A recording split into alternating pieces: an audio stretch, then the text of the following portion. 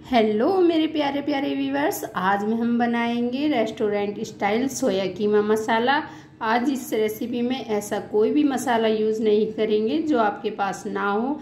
जो भी आपके पास घर में है, बस उसी से बनाएँगे। बस बनाने का तरीका थोड़ा अलग है, जिससे कि इसका टेस्ट बिल्कुल रेस्टोरेंट जैसा आएगा। तो चलिए आज इस यम्मी रेसिपी को शुरू करते हैं। गैस का फ्लेम ऑन कर लिया है और पानी गर्म होने के लिए रख दिया है। इसमें डाला एक चम्मच ना चम्मच और एक चम्मच डालेंगे वेनेगर जिससे कि सोया चंक्स हमारे काफ़ी सॉफ्ट हो जाते हैं। और ये देखिए, मैंने एक कप सोया चंक्स लिए हैं। आप चाहें तो पतले, मोटे, जैसे भी चाहें, वैसे ले सकते हैं। और इनको अच्छे से स्टर कर कर दस मिनट के लिए रेस्ट के लिए रख देंगे। ये देखिए दस मिनट हो चुके हैं, ये काफ़ी सॉफ्ट हो गए हैं, इन्होंने सारा पानी पी लिया है। अब हम इनका सारा पानी निकाल देंगे। देखिए मैंने निकाल दिया है, जैसा आप देख पा रहे हैं, और ये मैंने एक मिक्सी का जार लिया है, और ये मैं इसमें डाल दूँगी। और इसको अच्छे से कोर्सली हम दरदरा पीस लेंगे। ये देखिए, अगर आपका बैटर ये ऊपर आ जाता है तो आप चम्मच से इसको इस तरह से सेंटर में बीच में कर दीजिए। ये अच्छे से दरदरा पीस जाएगा। और इसको इसी तरह से हमको पीसना है। ये देखिए, आप देख पा रहे हैं, बस इसी तरह कीमा की तरह ही इसको पीसना है। इसको ज़्यादा नहीं पीसना है। ठीक है? चलिए तो इसको साइड रख देते हैं और एक कढ़ाई में हम ऑयल लेंगे। एक बड़ा चम्मच मैंने ऑयल लिया है। ऑयल थोड़ा ज़्यादा ही लगेगा। दो हरी इलायची ली हैं और दो लौंग लिया है। थोड़ा जीरा दिया है मैंने। और ये जीरा चटकने के बाद इसमें मैंने दो मीडियम साइज़ की बारीक कटी हुई प्याज डाल दी हैं। उनको हम तीन चार मिनट तक पकाएँगे जब तक कि गोल्डन ब्राउन ना हो जाए। फिर अदरक लहसुन का पेस्ट डाल दिया है। इसको भी आधे सेकंड के लिए भून लेंगे।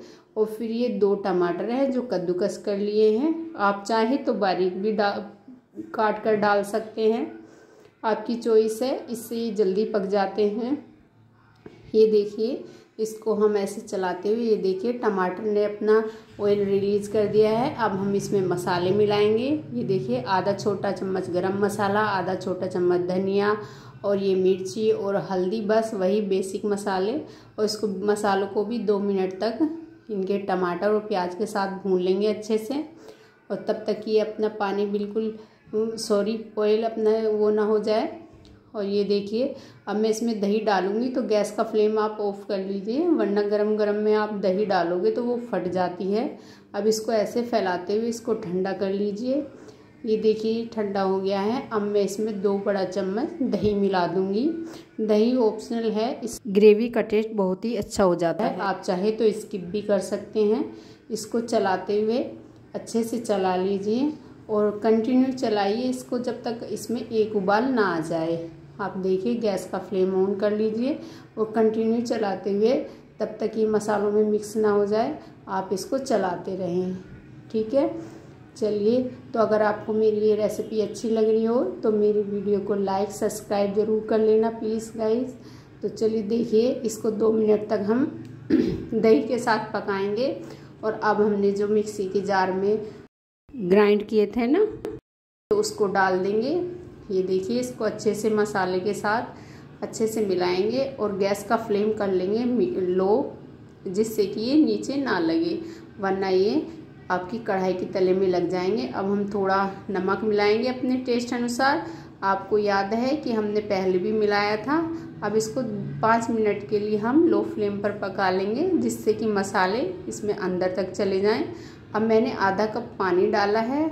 आप फ़िक्र ना करें, ये बिल्कुल ही सूखी वाली सब्ज़ी बनेगी। ये देखिए, मैंने मिक्सी के जार में भी आधा कप डाल के टोटल एक कप पानी डाल लिया है और इसको 10-15 मिनट अब अच्छे से पकाएँगे। देखिए 10 मिनट हो चुके हैं। और ये देखिए, अब बस ऑलमोस्ट आपकी सब्ज़ी कंप्लीट हो गई है। ये डाल लिया मैंने गरम मसाला और ये एक बड़ा चम्मच बटर डाला है। इससे इसका टेस्ट काफ़ी अच्छा आएगा और हाई फ्लेम कर कर आप इसके जो ये है पानी ना, इसको सुखा लीजिए। और इससे होगा क्या है हमने जो पानी डाला है ना, वो सूखी सूखी जो सब्ज़ी हो जाती है ना, बिल्कुल ही वो नहीं होगी। और ये देखिए मैंने इस जो हमने इलायची और लौंग डाली थी इसको इस तरह से चलाते हुए निकाल लीजिए। अगर आपको दिखाई दे, वो मुँह में आता है, वो अच्छा नहीं लगता है। ठीक है गाइस ऑलमोस्ट ये रेडी हो गई है और इसको अब तुरंत हम सर्विंग बाउल में निकाल लेंगे। अब इसमें देंगे रेस्टोरेंट स्टाइल तड़का। तो मैंने ऑयल लिया है एक चम्मच और फिर डाला है बटर ऑयल डालना ज़रूरी है, वरना बटर जल जाएगा। अदरक के लच्छे डालने हैं, एक हरी मिर्ची डालनी है।